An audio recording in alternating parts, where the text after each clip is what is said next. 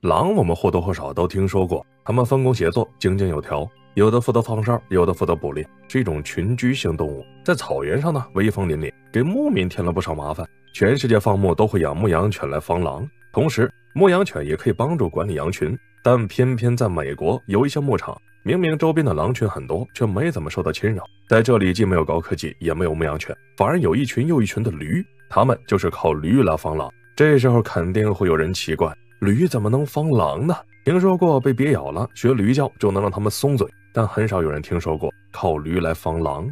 美国的狼主要是北美灰狼，体型属于偏大的一种，成年公狼的体长在一米八到两米不等，平均体重一百八十公斤。和大部分狼一样，都是群居性动物，它们也是美国本土极具威胁性的野生掠食者之一。所凭借的就是它们极快的奔跑速度以及群体协作性。在每小时六十五公里的奔跑速度下，很少有什么动物能逃脱它们的追捕。更何况，狼群还会采取一些战术，或是包围猎物群起而攻之，或是采用车轮战。轮流消耗猎物的体力，直到猎物彻底没了力气，瘫倒在地。效率如此之高的狼群，自然也被当地民众围剿。在上世纪三十年代左右，美国大部分州开始集体围攻狼群。野狼打了一辈子猎，怎么也想不到自己有一天会惨遭毒手，于是死的死，伤的伤。所幸北美野狼比较狡猾，没有像袋狼一样落在个灭绝的下场，但数量也不容乐观。在这之后，动保组织兴起，在这之中，自然有一些是真正为了保护动物的。在他们的努力之下，野生灰狼的种群数量在逐渐攀升，但随之而来就有一些更严峻的问题：野狼会在夜深人静的时候跳进牧场，开始大杀四方。牧民们苦于被狼群袭击，却又不敢打死野狼，生怕惹上更大的麻烦，于是不得已便开始寻找办法来保护自己的牧场。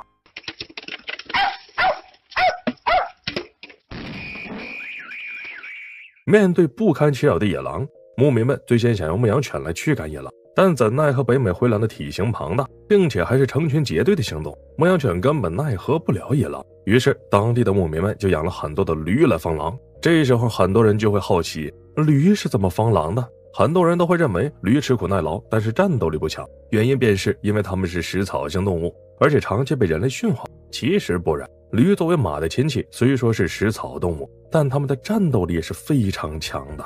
一般体长两米以上，高一米以上，体重能达到三百公斤左右。最重要的是，驴不会像其他的食草动物一样，看见掠食者就想跑。驴的反应一般见面就是干，再加上它们那难听的叫声，任谁都不想晚上听见这种声音。更何况是听力敏锐的狼。当然，要是没点真本事，这些也都是虚张声势罢了。驴的攻击手段很简单，一靠踢，二靠咬。这些驴撂蹶子的威力可不容小觑。不要说狼了。就算是人也挨不了他一蹄子，只要挨上那么一下，轻则骨折，重则当场丧命。曾有人测试过，驴一蹄子下去，瞬间力量能高达他们体重的六倍以上。这要是狼结结实实的挨上一下，真的是非死即伤。另外，他们那一嘴大白牙也不全是吃素的，高达五百八十五千克的咬合力。再加上这一组专门为了磨碎食物而生的牙齿，一口下去，轻轻松松来个骨折，毫无问题。在这双重攻击之下，很少有狼能扛得住几下，更何况旁边还有牧羊犬做辅助。很快，狼群的攻势就会被瓦解，一哄而散。说归这么说，但养驴来防狼真的有效吗？我们接着看。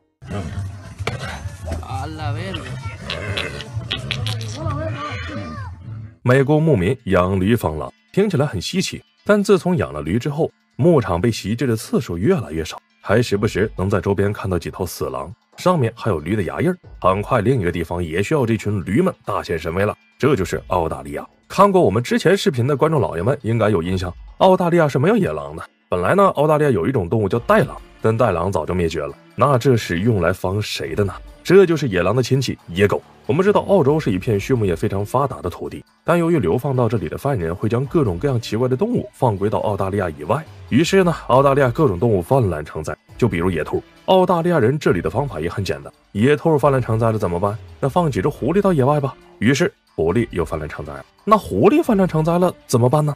放野狗抓狐狸吃吧。于是野狗也就泛滥成灾了。澳洲野狗的数量都拿三百万只。我们知道狗是狼经过长期的人为驯化而来的，因此它们的习性也会像狼一样，群居性动物集体捕猎，再加上澳大利亚以畜牧业为主，牧场里一个不注意就会被野狗搅得天翻地覆。于是就向美国学习，开始养驴来防狗。结果肯定不用说呀，效果还是不错的。毕竟野狼都能防得住，野狗在驴面前又能玩出什么花呢？这时候肯定会有人说：“你牧场这里是人类的地盘，放到野外去，驴肯定打不过狼和狗。”这就大错特错了。野驴在野外的时候，野狼和野狗同样是要躲着走的，就连猎狗也拿这些野驴没办法，稍不注意就会命丧蹄下。好了，今天的节目就到这里了。各位观众老爷们，对驴有什么看法呢？欢迎留言，我们下期再见。